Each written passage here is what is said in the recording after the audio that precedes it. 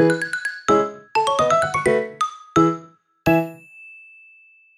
んにちは、スマユーチームの時野真央です。今回もスマユーチームが獲得した株主優待をご紹介していきます。今回が初の株主優待実施となった会社さんです。ご紹介するのは株式会社ノバレーズさんです。ノバレーズさんはブライダルが主力の企業です。全国にゲストハウスと呼ばれる婚礼施設を展開しています。ライダルに付随する事業としてドレスショップ、フォトウェディング、ギフト、それと中高価格帯のレストランの運営も行っています。ノバレーゼさんの婚礼施設は、モノリスやアマンダンといった名称を冠しているところが多いですね。実はノバレーゼさんは2016年まで当時の東証一部に上場していました。投資会社のポラリスキャピタルグループの支援で公開化を行い体制を整備して昨年2023年6月に再上場を果たされています。婚礼施設の新規出店が今後も控えています。この夏、2024年7月には宮城県の仙台市に清流荘という施設がオープンします。伊達政宗の霊廟の随宝殿という歴史的建造物に隣接しているんだそうです。9月には福島県の福島市にアマンダンアイルがオープンします。こちらは目の前が荒川桜堤公園という桜の名所だそうです。サイトで開業イメージを見てみましたが、どちらもとっても素敵でした。それでは、そんなモバレールさんの業績がどうなっているのか見てみましょう。本社は東京都中央区東証スタンダード市場です。前期の2023年12月期は4600組の結婚式が施行されています。1組当たりの平均ゲスト数や平均単価も上がって、売上高は同収となりました。ただ、コロナの助成金がなくなったことや、新店舗の出店に向けた投資の負担によって、利益面は大きく減少しています。今期2024年12月期は、レストラン営業を強化することで、増収増益を確保する業績予想となっています。配当は0円の予想です。当面は配当はなさそうですね。先ほど、レストラン営業の強化というキーワードがありました。ノバレーゼさんの PR 情報を見ていたら、こんなリリースがあったのでご紹介しますね。ちょっとタイトルを読んでみます。訪日富裕層向けに式場をレストランとして活用。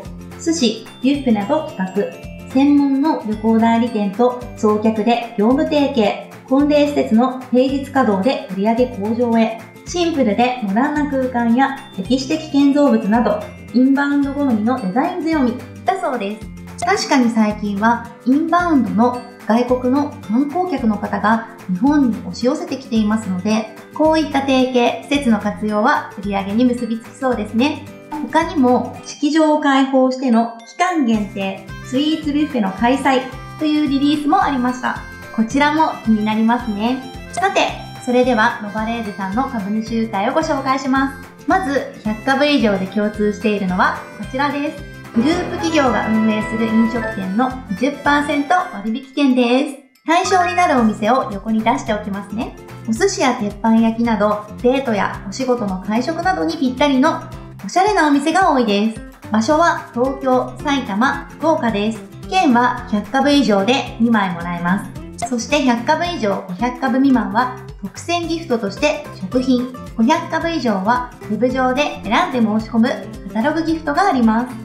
今回、スマユーチームには100株保有と500株保有の2名がいたので、両方をもらうことができました。まずは、特選ギフトからご紹介します。こちらが100株以上500株未満の株主向けの特選ギフトです。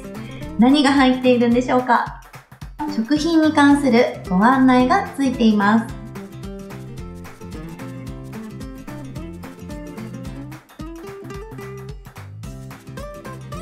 もなかのお味噌汁と焼き菓子が入っているようです。開けてみましょう。おー。こちらはもなかのお味噌汁ですね。お椀に入れてお湯を注ぐタイプです。しじみ、豆腐、ナスの3つです。こちらが焼き菓子のフィナンシェ。案内によると、スペイン産のアーモンドパウダーやフランス産の発酵バターを使用。焦がしバター味とショコラ味の2種類だそうです。後でゆっくり食べてみたいと思います。500株以上は Web 型カタログギフトです。500株の保有の場合は3500円相当です。ログイン情報が裏面に書かれたカードが届きます。こんな感じですね。取り外してみましょう。しっかりしたカードです。横にログインした際のスクショを表示しておきます。トップページです。ファッション、テーブルウェア、キッチンウェア、インテリア、ホビー、グルメのカテゴリーから選べるようです。表示されていたおすすめ商品です。ちなみに選べる商品数を数えてみたら500点以上もありました。この Web 型カタログギフトはカタログギフト大手のヤマトさんの提供しているサービスを利用されています。ちなみに優待を獲得したメンバーから引き換えたものを借りてきました。ちょうど必要だったそうで、選手タオルセット6枚入りを選んだそうです。それでは最後にスマユーポイントで株主優待の制度を確認していきます。スマユーポイントでは、優待の内容と株式保有に必要な情報を確認していきます。優待の権利確定は12月です。100株以上500株未満は6000ギフト。こちらは2000円相当の食品です。500株以上からはウェブサイトで選ぶカタログギフトです。保有株数が増えると値段も上がります。それと100株以上で共通で、グループの飲食店での飲食代金が20%割引になる優待券が2枚ついてきます。それと、ノバレーズさんには長期保有制度があります。3年以上の継続保有が条件だそうです。はい、3年以上だとこうなります。変わったところは破線を引きました。ギフト系は変わりません。優待券が2枚から4枚に枚数アップします。